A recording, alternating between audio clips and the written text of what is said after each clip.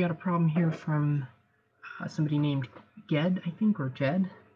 Um, and so we're going to do a breadth first search on uh, to make a spanning tree for this graph. Uh, the difference between a tree and a graph is that a tree has no cycles. So we see here we have a what's called a cycle um, because it, it's a square and it's all connected. Well, not all connected. Uh, we don't have E to G or H to F, but there's a cycle there. And then we have a cycle here as well, this triangle. Um, okay, so we want to choose D as the root of the spanning tree and assume that the vertices are ordered alphabetically. Uh, that just has to do with how we add them into um, kind of our queue. It's a list, and uh, we just uh, first in is the first thing that we take care of. We just take them, take care of the vertices, the edges, as as we get them. So we're going to um, add in the edges, or that, yeah, the edges coming out of D. And we add them uh, in this order because um, that's, that's what it um, says. So C to D, and then D to E, and then D to F. That's because um, it's alphabetically ordered. Um, okay, so so we have C to D first. We're going to do that. And we've taken care of C to D. Uh, now what we need to do is we need to add on the edges uh, coming out of C that we haven't already taken care of. So that's C to A and C, C to B. Okay, so our next thing that we're going to do is D to E. Note that, you know, this is a breadth first search. So we're going um, essentially in the order dictated by our list and things added on to the list at the end um, are going to be taken care of later.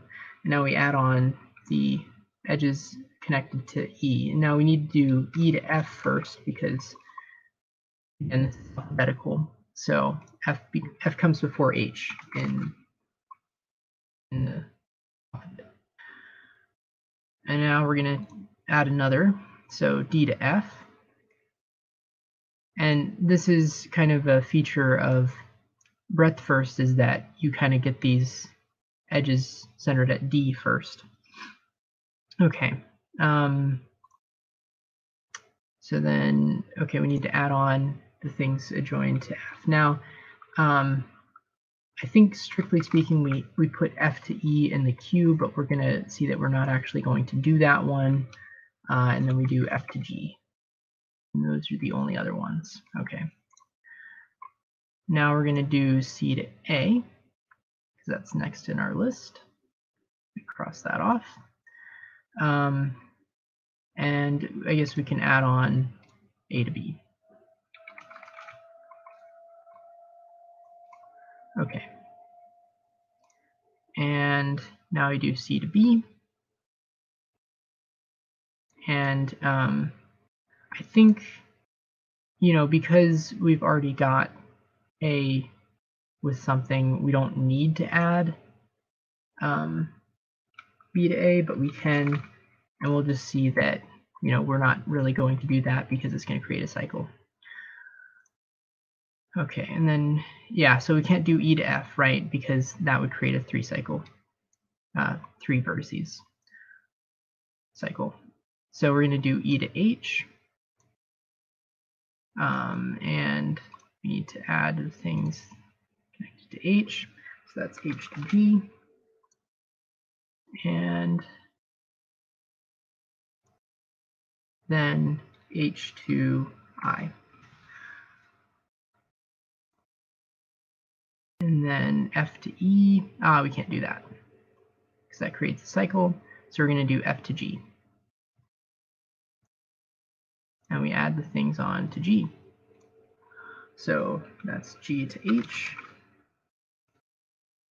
Um, again, I don't know if you necessarily have to put that in our queue, but um, you know, when you look at it, when we're actually going to look at adding it, we're not going to end up adding it because that will create a cycle.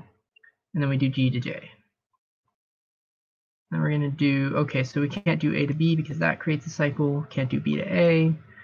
So can't do H to G, but can do H to I. And we don't add anything because I is not connected to anything except H. So we did that. Uh, can't do G to H, um, again, because of the cycle. And then we're going to do G to J. And that is our spanning tree. Uh, you can see that we hit each of the vertices uh, and we don't have any cycles. So there you go.